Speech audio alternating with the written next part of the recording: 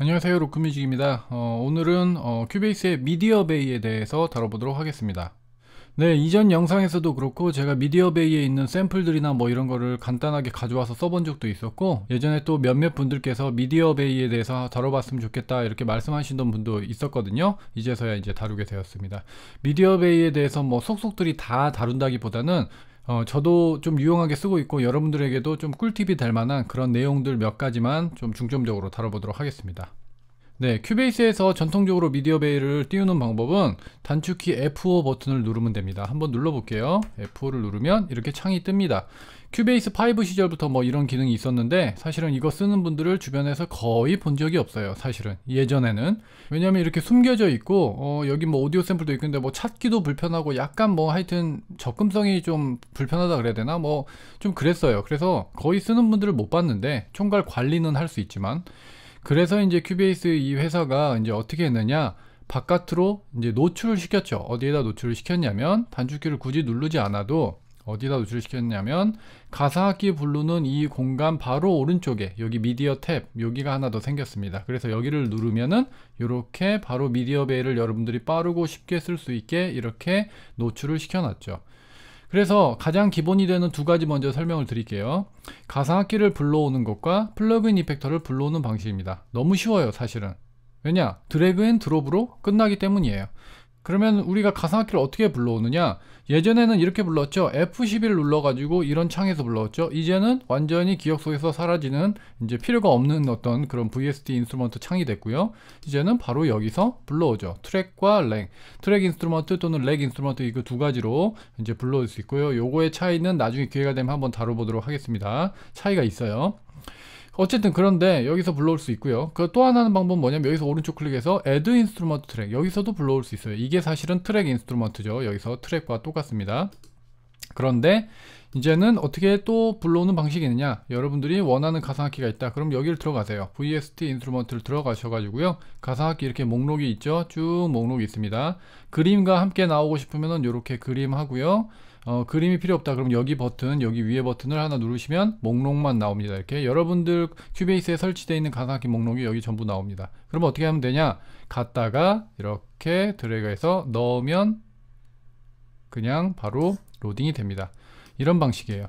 여러분들이 그냥 그때그때 그냥 넣으시면 돼요. 이렇게 드래그해서. 이게 이제 어, 가장 최근에 그나마 생긴 기능이죠. 최근이어도 무지 오래됐어요 이게. 사실은 뭐 큐베이스 뭐 8? 어, 8.5? 뭐 이때부터 들어왔나? 하여튼 좀 오래됐습니다. 미디어베이가 이렇게 이제 기능이 추가되기로는. 근데 이렇게 쓰는 분들 거의 주변에 본 적은 없는 것 같아요. 꼭 이렇게 써야 되냐? 아, 이렇게 안 써도 되죠, 사실은. 여기서 이렇게 불러오시면 되니까요, 이게. track instrument 방법으로 불러오는 건데, drag and drop으로 간단하게 해결이 된다. 이렇게, 어, 생각하시면 될 것 같습니다. 그러면 여기 그림이 어떤 건 넣어져 있고 어떤 거 안 넣어져 있고 하는데 제가 사실 레슨 때 몇몇 설명하느라고 어떤 건 넣고 어떤 거 안 넣고 했는데 요 그림을 넣는 방법은 다음 영상에서 아주 간단해요. 아주 짧게 끝날 건데 어, 다음 영상에서 다루도록 하겠습니다. 이렇게 그림 넣을 수 있는 거. 그러면은 이번에는 plug-in effector에 대해서 한번 말씀을 드릴게요. 어떻게 하느냐? 너무 쉬워요. plug-in effector에 대한 어떤 목록이 이렇게 나오거든요. 그러면 여러분들이 필요한 거 있다. 그러면 여기 똑같아요 이렇게 그림과 함께 나오고 싶으면 이렇게 다음 영상에 그림 넣는 법 말씀드릴 거예요. 그림 필요 없고 목록만 그러면 요거 누르시면 됩니다. 그러면 목록만. 그럼 어떻게 하느냐 여기다가 갖다가 집어 넣으면 드래그해서 그 트랙에 넣으면 돼요. 물론 오디오 트랙이나 가상악기 트랙에만 plug-in effector가 들어가죠. 어, 미디 트랙에는 이런 plug-in effector가 당연히 들어가지 않아요. 오디오나 가상악기 트랙에 집어넣는다고 이렇게 생각하시면 돼요. 오디오 트랙이나 가상악기 트랙. 그래서 여러분들이 원하는 어떤 그런 effector들이 있다. delay 뭐 이런 것도 있고 뭐 목록 나오죠? 그러면 여기다가 그냥 드래그해서 넣으시면 됩니다. 그러면은 여기 보시면 이렇게 effector가 들어가 있어요. effector의 개념과 어, 넣는 방식 이런 것들은 나중에 차근차근 또 설명을 한 번씩 드릴게요.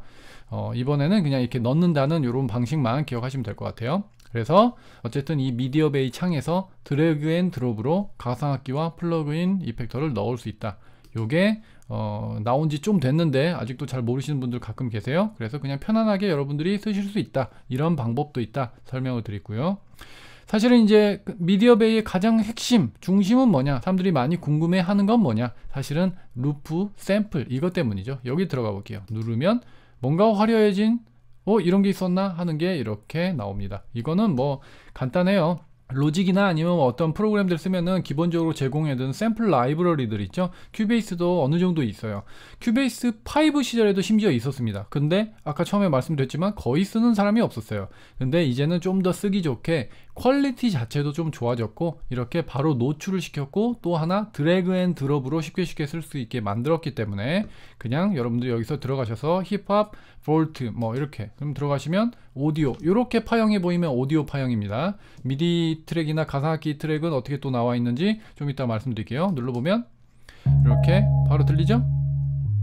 Rhodes loop네요. 그러면 여러분들이 어 하나 불러와 볼까? 그러면 드래그해서 넣으시면 됩니다. 이렇게. 그래서 snap이 이제 켜 있는 상황이라면 여러분들이 이렇게 딱딱 붙고요. 만약에 이게 이제 여러분들이 어 템포에 딱 안 맞는데 이거 그럴 때는 여기 보시면 이렇게 물결 표시 같은 거 여기 보이시나요? 이렇게 돼 있다는 거는 time stretch가 됐다는 얘기예요. 그러니까 정확히 얘기하면 오디오 파형이 뭔가 만져졌다 이런 거를 뜻하거든요 원본이 아니다 이걸 이제 얘기하는데 지금 time stretch에 대해서 실제 이 템포는 몇이든지 간에 여기 보니까 157이라고 돼 있네요. 여기 여기 밑에 이렇게 보니까 이게 템포 여기 78.5라고도 되어 있는데 어쨌든 이렇게 이렇게 보이죠? 그러면은 두 배 하면 157 되네요. 어쨌든 근데 그 템포인데 지금 제가 해놓은 거는 디폴트 값이었기 때문에 120이거든요. 그러니까 자동으로 time stretch를 하는데 그럴 때 이제 쓰는 방법이 화살표 세 가지. 뭐냐면 화살표에서 normal sizing, sizing move content, sizing apply time stretch 이세 가지가 있어요. 이 화살표에 대한 내용은 지난 영상에서 다룬 적이 있습니다. 그러니까 이번엔 넘어갈 거예요. 그 영상을 꼭 참고해 주세요. 이거 화살표가 세 가지나 있어서 이렇게 바뀌죠. 이 뭐야 그러면은 지난 영상을 꼭 보셔야 돼요. 꼭 참고하시기 바랍니다. 어쨌든 이렇게 타임 스트레치를 할 수 있어요. 들어보고요. 미리 듣기로 이렇게 들어보고 여러분들이 갖다 넣으시면 됩니다. 그래서 여기서 자동으로 들어보기도 할 수 있고 끌 수도 있고요. 뭐 이제 여러분들이 여기에서 뭐 사이클 그러니까 계속 반복하게 어, 이 한 번 하고 예, 한번 재생되고 끝나는 게 아니라 계속 반복하게도 할 수 있고요. 여기서 그 다음에 여기 보면은 여기 뭐 한번 여러분들 어 영어 설명 읽어보시면 누구나 쉽게 아실 수 있는데요. 오토플레이 뭐 한다, 뭐 누르면 선택하면 그 다음에 프로젝트의 그 비트에 자동으로 갖다 맞춘다 이런 개념이에요. 여기 여기 지금 요 두 번째 요거요. 어, 여기. 그 다음에 여기 보시면은 프로젝트 지금 창에서 플레이 하는 걸 기다린다. 그러니까 자동으로 재생하지 않고 플레이를 눌렀을 때 재생이 되는 거 뭐 이런 거예요. 그러니까 여러분들이 이거 껐다 켰다 해보시면 기능을 쉽게 파, 파악하실 수 있으실 거예요. 그 다음에 여기 재생되는 볼륨입니다 이게. 볼륨. 볼륨이니까 여러분들 여기 작게 두고 싶으면 작게 해보시고요. 이렇게 작아졌죠? 무지 작아졌어요 예 커요. 근데 여러분들이 누를 때 어우 뭐야 깜짝 놀래 너무 커. 막 이러면은 요 볼륨을 좀 제어하시면 돼요. 요거 볼륨. 이렇게 하시면 됩니다. 그래서 샘플이 많아요. 무지하게 많아요. 뭐 드럼 샘플도 있고 그 다음에 칼레이도스코프라고 해가지고 약간 그 뭐 공감각 공감각적인 뭐 그런 사운드. 사운드 디자인이나 어떤 어떤 영화 음악 뭐 영상 음악 같은 데 쓸만한 무슨 분위기 잡아주는 텍스처 음원 같은 텍스처 사운드 같은 그런 것들도 있습니다 그래서 필요하다? 넣으시면 돼요. drag and drop. 넣으시면 돼요. 이렇게 돼 있죠? 이렇게. 지금 자동으로 time stretch가 되기 때문에 여기 또 보면 이렇게 그림이 요 무늬가 들어가 있고 템포에 지금 이제 이게 디폴트 템포이기 때문에 120인데 120에 딱 맞게 마디가 이제 되어 있습니다. 그래서 바로바로 바로 쓰기에 좋게 이렇게 되어 있어요. 그렇기 때문에 어, 원래 파형의 템포와 실제 내가 지정해온 템포와 너무 이질감 그러니까 너무 편차가 크다 그러면 음질 열화가 발생하기도 합니다. 그렇기 때문에 여러분들이 선택적으로 쓰실 수 있어야 돼요. 내가 지정한 템포와 좀 비슷한 유의 템포를 갖다 쓰는 게 좀 추천해 드리는 방법입니다. 너무 템포 차이가 크면 음질 열화가 발생하기 때문이에요.